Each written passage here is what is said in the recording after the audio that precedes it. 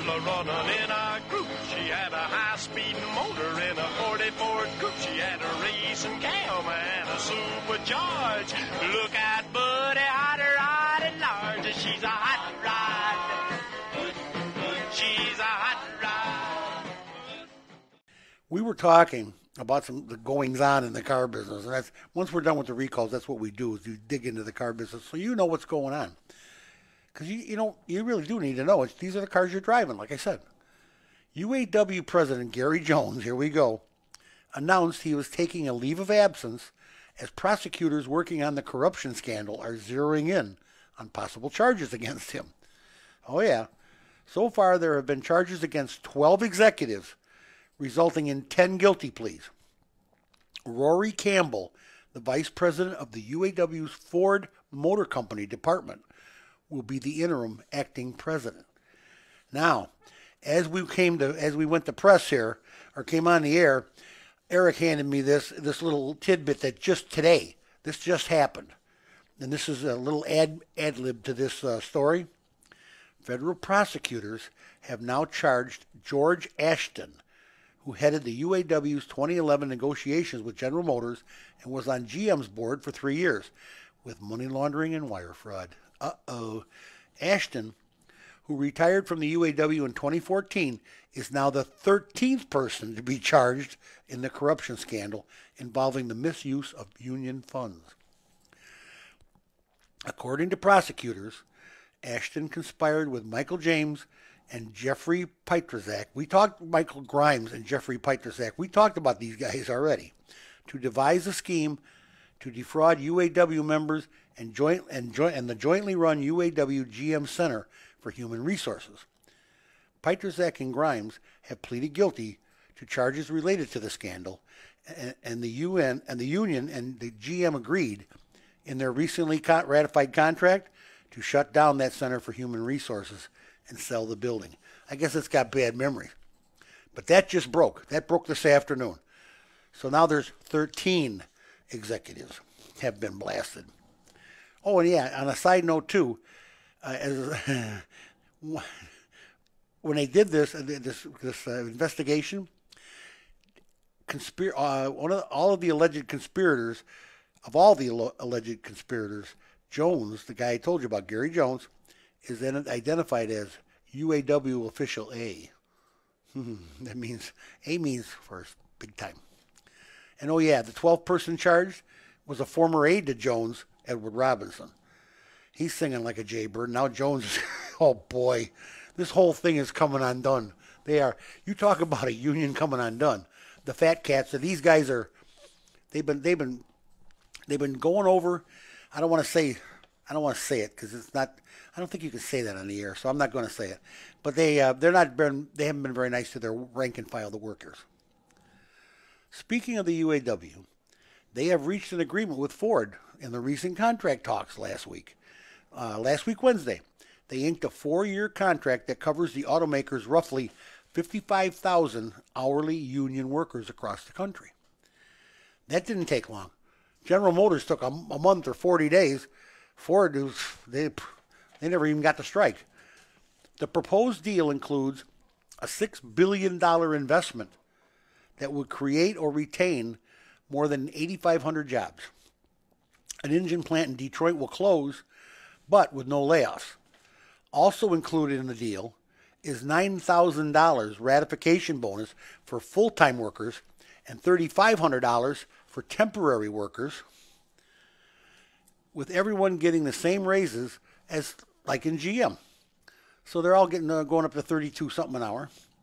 As a side note, Ford Motor Company will retain their training center because they, they have, so far they haven't been picked up with with the crookedness that they operate jointly with the UAW in downtown Detroit. That's unlike General Motors, who has closed theirs as part of the agreement because because it's where all bad things happened.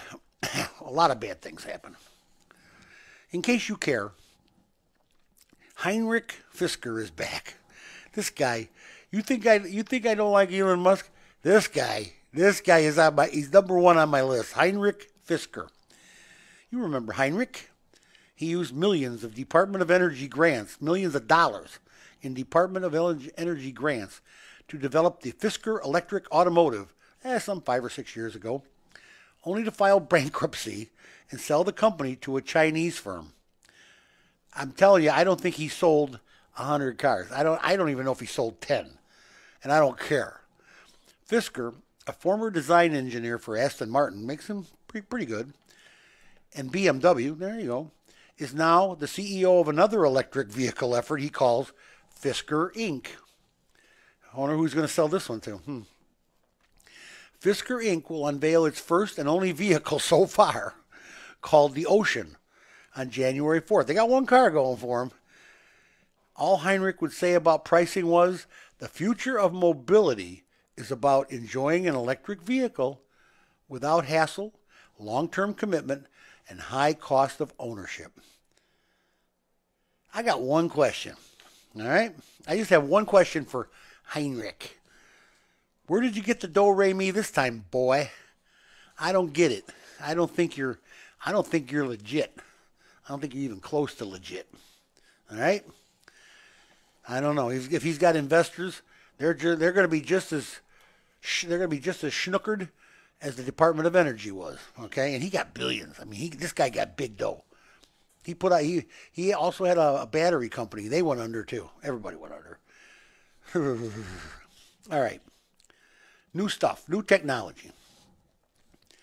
Toyota will unleash a little brother version of its quite popular RAV4 next month in Japan. The RAV4 is their really cool truck. They have named it the Raize, which will have a three cylinder, one liter, one liter power plant. Three cylinder, one liter. It's a little, this is a little RAV4 now. This ain't a big RAV4. It's a little one. I just wonder, and I looked this, I looked this up for, to make sure. I just wonder if Toyota people know that raize is a Latvi- Latvian word for worries or concerns. That's what it means in Latvian. well, you know, they're overseas. I mean, everybody's overseas there. They're all doing their thing. I don't know where Latvia is pretty close to Asia, ain't it? They should have called they should have called NAS. All right. One the Raize. One of the three scientists that received the Nobel Prize in Science for their work with lithium ion batteries, a Mr. M. Stanley Whittingham, a professor at the State University of New York. Oh, my good. He must be. He has gone on record as saying that in the near future, the lithium ion batteries are going to be cheaper and more readily available to everyone. He knows this. The research we are doing will increase energy density and make them safe at the same time. Whoa, whoa, whoa, wait. M. Stanley, buddy. They're not safe now? I mean, I've heard of fires. are you telling me? What's going on here? Meanwhile, now in China, the Chao Yang Wang group, Chao Yang Wang, whoa, have developed a lithium ion battery that can recharge a potential 200 miles using temperature technology in just 10 minutes. It requires 400 kilowatts of energy, which would cause today's batteries to overheat and catch fire. So they use a, a temperature technology to shoot all that kilowatts in there and keep the battery temperature down. They have some kind of charging system that does that, and they can charge it in uh, can ch- 10 minutes. They can put 200 miles back on your electric car in 10 minutes. That's that's kind of cool, and I'll give you that. That is kind of cool, but I don't know. I I just don't know. You know, we have a list of cars, and I've got it here and I want to read it to you. You're losing a certain amount of cars now in 2020. Say goodbye. There's a couple of them. Well, there's a bunch. There's more than a couple. A lot of them going bye bye. These are goners for 2020. After 2020, there'll be no more. The Ford Flex, the cool looking station wagon. I don't know. Infiniti Q70, couldn't tell you. The Fiat 500 and 500e, garbage. Or oh, them junky cars. Aston Martin Vanquish. What, what would James Bond say about this? What's he going to drive in his next movie? The Buick LaCrosse, the Buick Cascada, the Audi A3 Cabriolet. That little thing, that's a that's a roller skate. Smart car for two, that's not even a good roller skate. The smart car for two. The Cadillac XTS, uh, you can see the handwriting on the wall there. Infiniti QX30. The Ferrari 488. Oh my goodness. The Chevy Cruze, Chevrolet Cruze. You're out of here. BMW 3 Series GT. Goodbye. Hyundai Sonata or Santa Fe XL. Hyundai Santa Fe XL. I, I thought that was a pretty decent car. And here we go with the, the, today's our American automakers. Chevrolet Impala. Now, How many times are they going to get rid of the Impala and bring it back? Uh, the Ford Taurus. Gone again. That's the second or third time for that. Chevy Volt. Uh, you can get rid of that. I drove one. Ooh. The Chevrolet Corvette C7. Now, I don't know the different C's and C styles of Corvette, but the, why just the C7? I don't know. The Ford Fiesta, goodbye. Nissan 370Z Roadster. Oh, and poor, poor VW. The VW Golf and the VW Beetle. Da da da da. You're out of here. These are the cars. There's a lot of them. There's 20 some cars there. Gone for 2020. Hey, we got a phone call here. Let's let's go. Let's talk on the car phones with somebody. Hey, you're on with the you're on with the car guy. Hello.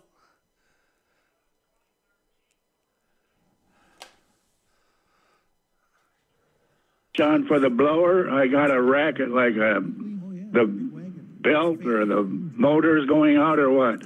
I don't. I can't. I didn't take it in to check it, but maybe you could give me an idea. Okay, now you're talking about the blower in the in the dash.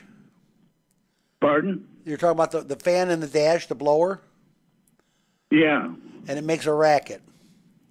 Yeah. I assume it's either coming from under the hood or in under the dashboard. Well, there it depends on the vehicle. Some are under the hood, some are under the dash, but they're all they're all basically blowing into the dashboard.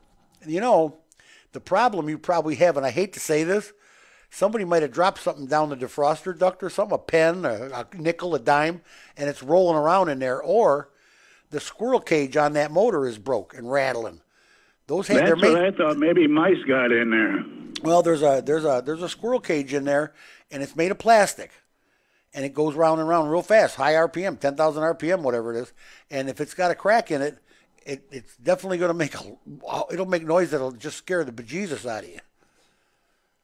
Yeah. Do, uh, is it a, a big motor or what? You know? No, or? it's not a big deal. If it's just if it's just if it's just the squirrel cage, it's not that big expensive deal. If it is the whole motor and squirrel cage, eh, you're probably talking a couple hundred bucks, depending on how much labor Yeah. is involved. Uh, okay, well, you you give me some help. Maybe I'll take it down to the Ford dealer and see if he can take it apart. Yeah, oh, they can take it apart. Trust me. Get get it fixed though, because winter's coming. I don't want you to freeze. Well, I know I didn't have any air either because I turned the switch on and the racket came on, so It, it scares I you, didn't doesn't have it? air. But I better do it for the winter. It gets your attention, doesn't it? Yeah. I hear you. I hear you. I, if you got grandkids, maybe one of them drops something down the vent.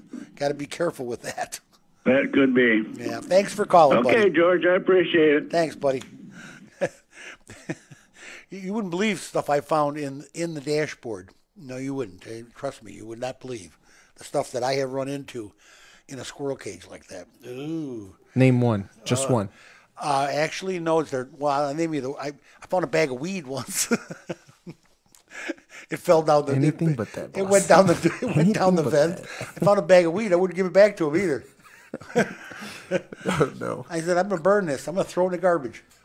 I'm very, I'm violently anti-weed. Trust me. Anyway, eh, that's not the worst thing I found, but some of it had.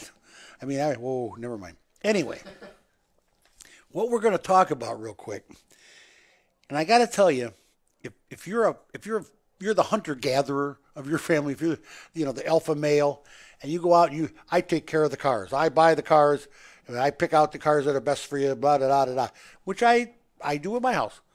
My wife, my wife, I never asked. She, she never, she never even asked me if I want to change the color of the carpet or the drapes or whatever. She just does it. She wants new furniture. She does it because she knows I have, I have no taste. I have none.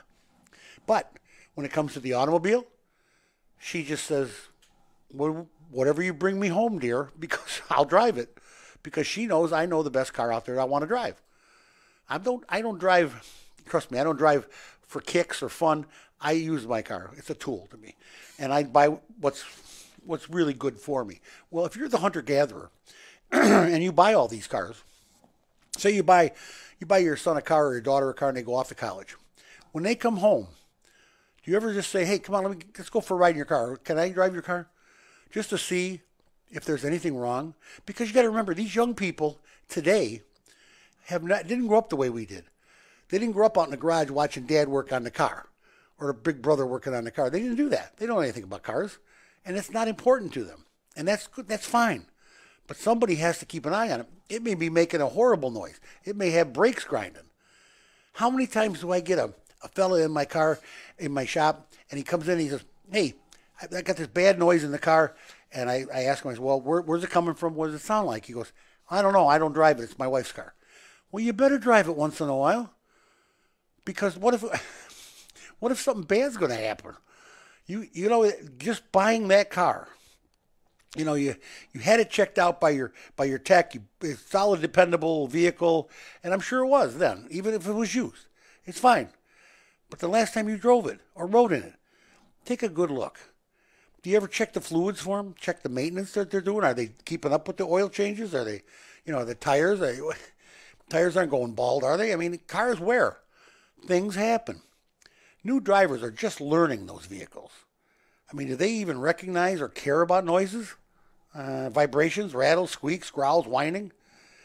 You've been behind the wheel for 20 plus years. You realize these consequences.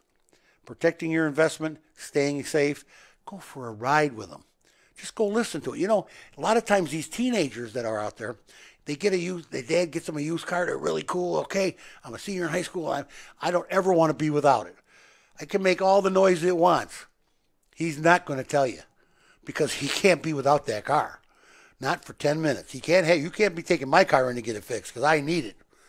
That's just. Eric, you're not that far away from high school. You did you have a car in high school? I had yes, I did. I had a Dodge Intrepid. Okay, did it make any noises? Uh, towards me driving it to college, I did. It started making some noise. You know, yes. eh, see, but they the kids don't want to be without their car for one thing. And if they're going to college, they really do need their car, especially if they're going to college locally but not you know away. Or if they're away, they can probably have a campus where they can walk on, but they still got to get back and forth from the school to home. Yeah, see, I went to South Suburban College, so I, Which at you had to drive. Right, I had to drive from the east side to South Suburban College. So I took uh, 94 coming down this way to get to South Suburban. At times I took the street, but majority of the time my driving was on the expressway from home to to uh, South Suburban and back. Yeah, I went to South Suburban too, but it was a one wo- one room wooden school. the, the South Holland Institute of Technology. That's what we called it. Anyway, um, yeah, if you if you are the alpha male, you're the hunter gatherer, you're the boss, whatever, or you're the car person in your family, check them out. Don't just buy it and walk away and never touch it again. You gotta you gotta make sure because somebody will get killed, somebody will get hurt. You don't want that on your conscience. You don't want that to be the case. You oh I should have I should have checked that car for you. It's too late now. The wheel fell off.